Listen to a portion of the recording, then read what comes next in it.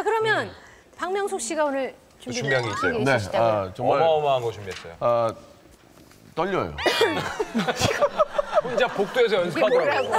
이게 뭐가 떨리시면 혼자 복도에서 놀고 얘기했는데. 아니 이게 아, 연예계 꽁꽁 승 다시 한번 갈게요. 떨지 마요, 떨지 마요. 연예계 꽁꽁 숨겨져 있는 비밀을 낱낱이 파헤쳐보는 시간입니다. 박명수의 돌직구 쇼쇼쇼!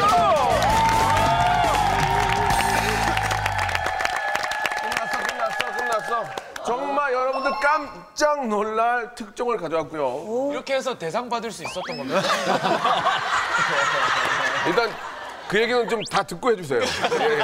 아, 2AM. 예. 아, 정말 저 감성 보컬의 대한민국 최고죠. 5년째 정상을 지키고 있는데 요즘 저 불화설이 좀 나오고 있습니다. 알고 계십니까?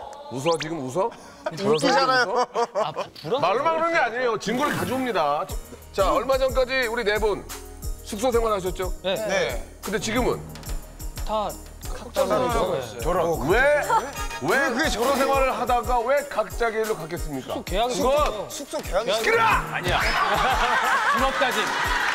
남자 네명 사실 남자 네명이 같이 날수 없어요. 특히 이한명 때문에 불화설이 일고 있습니다. 그 주인공 바로 누구지? 진훈이 너! 진훈이 너! 너 스타병 걸려가지고 어? 아, 걸리긴 했어. 걸리긴 했어.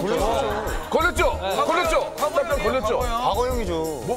아, 뭐라고요? 과거. 과거. 과거. 걸렸죠? 모른다 그래. 몰라요.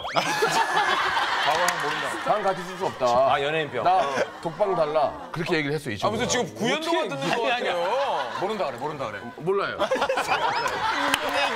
결국, 결국 지- 진흥 군이 자기 방을 발로 빵 찼어요. 그래요. 문을.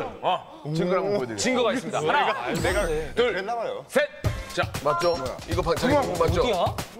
니네 방문 맞죠? 어디예요? 저 어디예요? 진훈이 방. 니네 니방 찍어온 거 아니야, 이게 지금? 아, 어디 말도 안 되는 문 찍어가지고 우리 숙소래.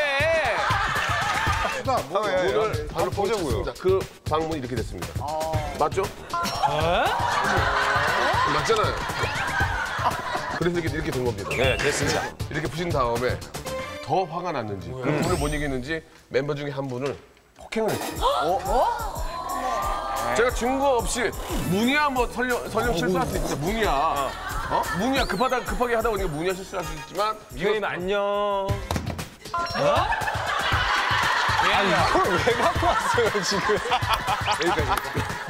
아, 여기까지입니까? 됐습니다. 끝. 됐어. 박수. 이게 뭐야? 아니, 이게 박명수의 돌직구 쇼예요? 아줌마 잠깐만. 잠깐만. 소리 웃어? 잠시 후에 당신 난리. 너 해체야. 하고 있어요? 하고 있어요?